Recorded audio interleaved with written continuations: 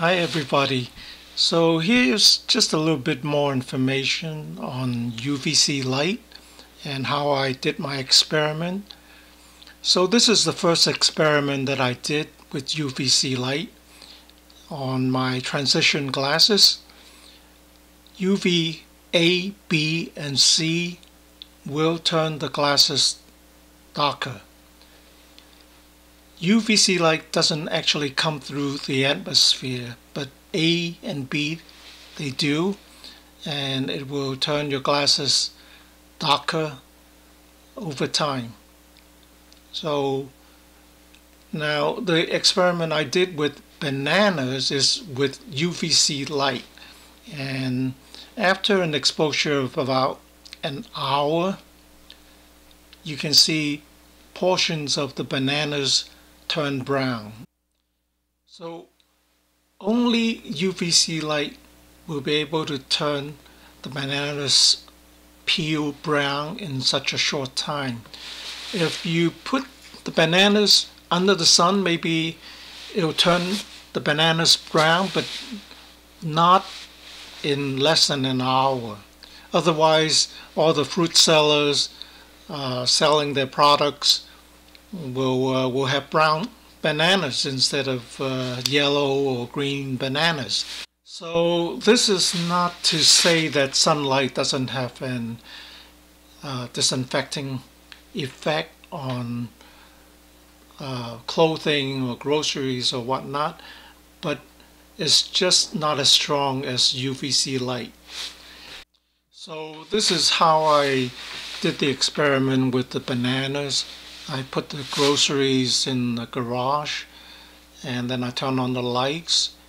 The 18 watt is on one side, the 8 watt is on the other side, and the bananas are at least two feet from the light source.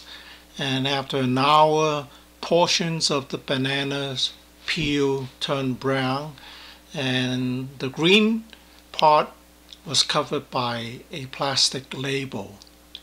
So UVC won't be able to go around corners and disinfect everything. So you have to know the limitations of the UVC light. So if UVC light cannot go around corner, can you do something with that? Maybe.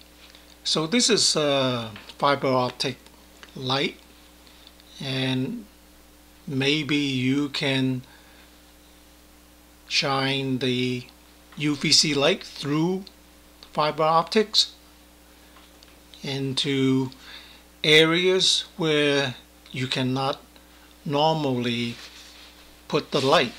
Now I don't know if this will work so this is for someone else to experiment. I don't even know if UVC will destroy the fiber optic cable.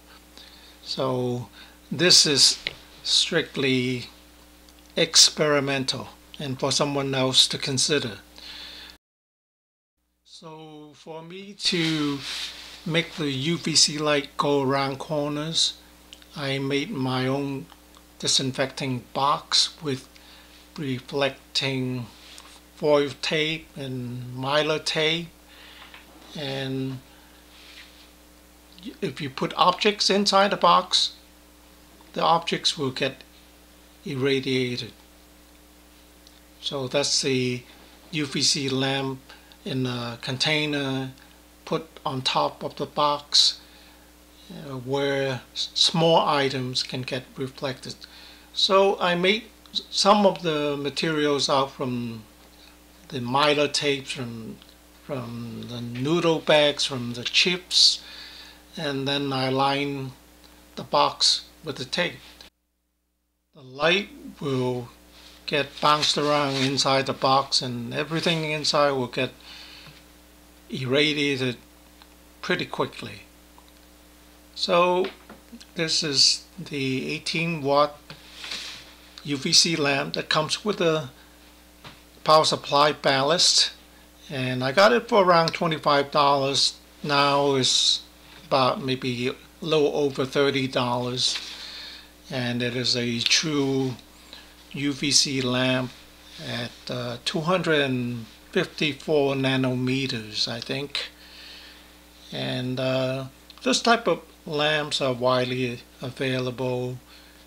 And this is like I said before in my other videos not new technology and is actually pretty pretty old and inexpensive. Thanks for watching.